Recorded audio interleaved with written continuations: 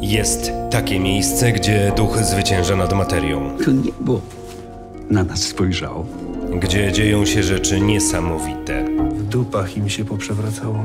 gdzie przybywają z dobrą nowiną możni tego świata. No niby minister kultury, a pcha się jak locha do ziemniaków. Gdzie on trwa i trwać będzie. To jest całe moje życie, moja wielka miłość. Gdzie cnoty ważne ustępują ważniejszym. My się tu modlimy o większe pieniądze.